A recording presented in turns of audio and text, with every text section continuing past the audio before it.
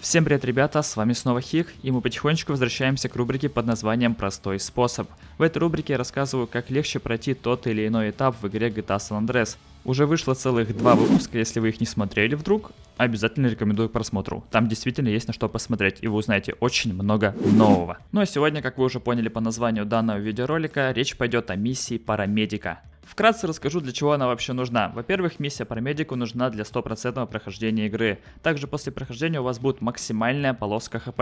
Целых 160%.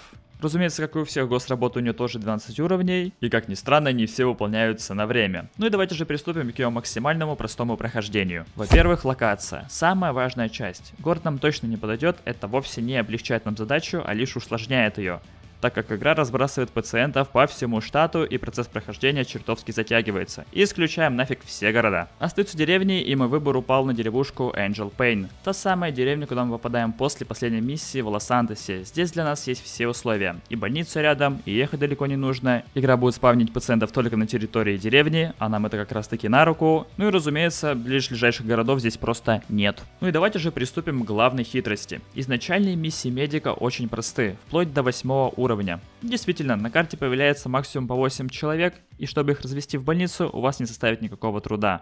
Но вот после 9 уровня количество пациентов стремительно растет и становится уже чуть-чуть сложнее. На карте много пациентов и игра превращается в чертовский круговорот. Но есть пути решения, чтобы пройти через этот ад. Как сделать так, чтобы кататься нужно было всего лишь на одну точку, а потом назад, и всего за один раз? Разумеется, мы должны достигнуть того самого сложного этапа парамедика.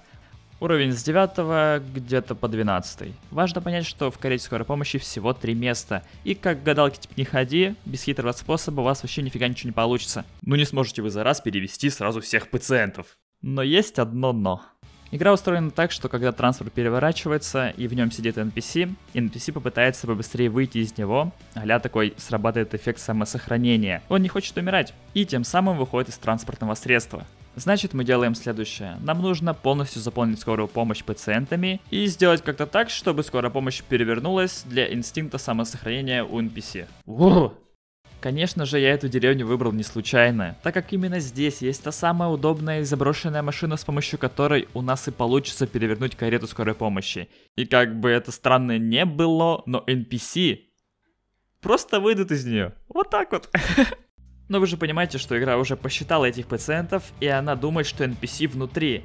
Типа своего рода такой баг происходит. Игра думает, что NPC внутри, но они уже вышли. Тем самым у нас освободилось место для других NPC. What the fuck? И фишка заключается в том, что такое действие можно проводить неоднократно, и при этом можно даже не возвращаться к чекпоинту. То есть как бы сдавать этих самых пациентов в больницу. Плевать вообще, никому не нужны. И лишь вы единожды можете вернуться назад к больнице, чтобы получить левел следующий. Или уже наоборот у вас финальная стадия, и вы заезжаете на этот конечный чекпоинт у больницы для того, чтобы просто сдать миссию парамедика, тем самым ее уже выполнив. Вот, так вот. Вот и простой способ вообще. Гениальный нафиг. И давайте вкратце еще разок. Первое. Вы достигаете критического левела, с 9 по 12. Вы едете к самым дальним пациентам для того, чтобы их взять и загрузить в свою карету. Но вместо возвращения назад в больницу, вы их скидываете по пути возле этой старой ржавой машины. Игра думает, что они в машине, тем самым освобождает места для других пациентов. Вы можете их взять и в принципе их также скинуть и только конечных трех довести до больницы. Тем самым уровень будет засчитан и вы пройдете следующий этап. Или вовсе завершите вообще миссию парамедика. Все гениальное просто. Ну, у меня на этом все. Надеюсь, вам ролик понравился. Он был достаточно информативен. Я его постарался, по крайней мере, таким сделать. А, вот. Если это так, пожалуйста, поставьте лайк, напишите какой-нибудь комментарий. Если вы здесь вдруг впервые, обязательно жмякайте на кнопочку подписаться. Я буду стараться делать побольше таких вот интересных, информативных, полезных видеороликов по игре GTA San Andreas. Все, с вами был Хик. Всем удачи, хорошего дня и пока!